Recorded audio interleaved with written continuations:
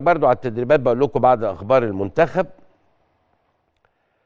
كلام كتير عن أيمن أشرف وليه الكابتن حسام البدري ضمه مع علمه إن هو مصاب بخشونة بسيطة في الركبة وأن تقارير صحفية زعمت إن الأهلي غاضب من إمكانية مشاركة أشرف وطبعا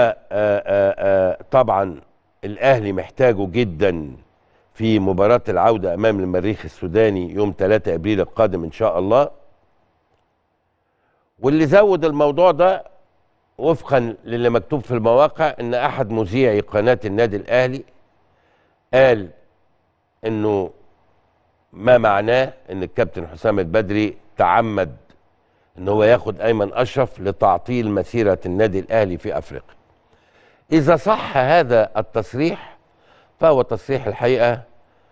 آه يعني ده كلام بيقولوا إن اتقال في قناة الأهلي. إذا صح إنه اتقال فأنا أشوف أنا أشوف إن هو لا يصح إن هو يتقال. يعني ما ينفعش اطلاقا يا جماعة. اولا خلي بالك كابتن حسام البدري إذا كنت أنت متفق معاه أو مختلف معاه كقنايه في النادي الأهلي أو غير النادي الأهلي هذا أمر. ولكن كون إن أنت ما تشوفش إن ده مدير فني منتخب مصر هذا أمر آخر.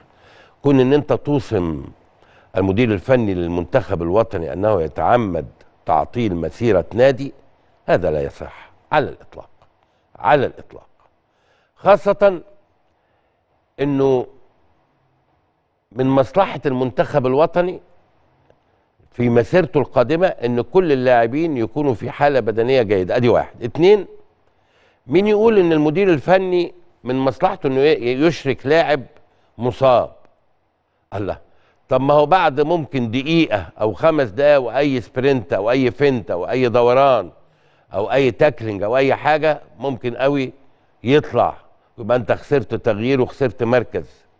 يعني حتى الكلام لما يتقال لازم يتقال بعلم ويتقال بإدراك من اللي هو بيقوله. أنا ما أعرفش طبعا مين اللي قاله ولا يهمني إن أنا أعرف أنا مجرد قريت في المواقع إنه أحد المذيعين في قناة الأهلي قال إن الكابتن حسام البدري بيتعمد تعطيل مسيرة النادي الأهلي وهذا يعني زي بقول لا يصح ولا يرضى عنه مسؤول النادي الأهلي أن أن يصدر هذا التصريح من داخل قناة النادي الأهلي.